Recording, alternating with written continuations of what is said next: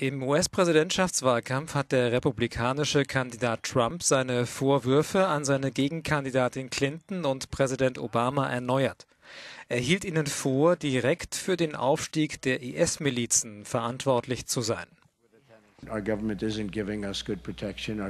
Unsere Regierung schützt uns nicht ausreichend. Sie hat mit ihrer Politik die IS-Milizen stark gemacht. Ich nenne Präsident Obama und Hillary Clinton die Gründer der IS-Milizen. Ich denke, wäre das Ganze ein Sport, dann würde der IS Clinton einen Preis als wertvollste Spielerin geben. Hillary Clinton stellte in Warren, einem Vorort von Detroit, ihr Wirtschaftsprogramm vor.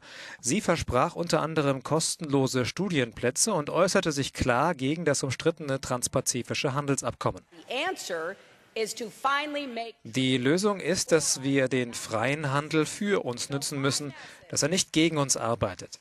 Deshalb sage ich jedem Arbeiter in Michigan und dem Rest der USA, ich werde jedes Abkommen stoppen, das Jobs vernichtet und Löhne drückt, einschließlich des transpazifischen Handelsabkommens. Das Wirtschaftsprogramm von Donald Trump kritisierte Clinton scharf.